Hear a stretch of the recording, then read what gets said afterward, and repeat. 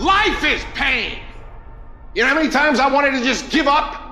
How many times I've thought about ending it? Life is hard. Easy, it's not an option. But it's worth fighting. It's worth believing. It's worth giving yourself a chance. It's worth mustering yourself up, standing up inside yourself. It's worth fighting relentlessly, never giving up. It's worth fighting a good fight. It's worth being around motivated, positive people. It's worth being up tempo. It's easy to have faith and feel good when you're feeling good and you have no pain and your bills are paid and you got a clean bill of health from the doctor. It's easy to be motivated then. But when that's not the situation, it's hard. When you look in the mirror, you don't see the person that you once saw. It's hard. I know it's hard, but do it hard. It's necessary that you take charge, that you begin to stand up inside of yourself, that you dry your tears and you're not given the luxury of feeling sorry for yourself, that you got to get in a fighting mode. You can't surrender. You can't be a chump. You got to fight back. You got to stand up and start. So wait a minute, what is it I need to do? You got to make yourself move even if it hurts. Many people have been written off and said, this one won't survive. And they did. It's possible. You've got to believe in your heart of hearts that it's possible that you can beat this. Your belief, your faith, your drive, your determination, your persistence, your perseverance, your spirit. Greater is He that is in you than what's out here in this world. So you've got to decide, you've got to say, it's possible that I can beat this. And it's necessary that I do this in spite of the pain and the conditions, you've got to mobilize your mind and your spirit. There's nothing as powerful as a made up mind. I'm not through yet. I've got some work. I have an assignment that's incomplete. I'm not through yet.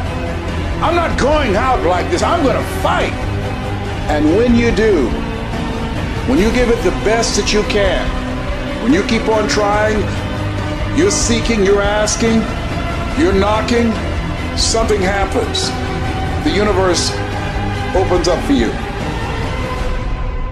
There's certain things in your life that you cannot afford to quit on. I'm in Times Square right now. I look around, I see all these companies. And the first thought that comes to my mind is that they didn't quit. Because I know anything that's big once started off as small. I know they hit challenges, roadblocks, obstacles, rejection. People probably looked at them crazy, but they didn't quit. In your life, when times get hard, when setbacks come, that should let you know that you're on the right track. The journey is about progression, not perfection. Right? It's not going to be perfect. If the peak is worth reaching, the climb is going to be hard. I know, I know, I know you're ready to give up. I know, I feel you. You're ready to give in. You're like, I've never gone through this before. Or maybe you're at the darkest point of your life and you're ready to give up. You're at a point in your life where you feel like it's do or die. You're going through so much pain. You're going through so much agony.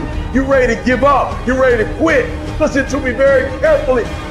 You are a warrior, and it's time for you to fight.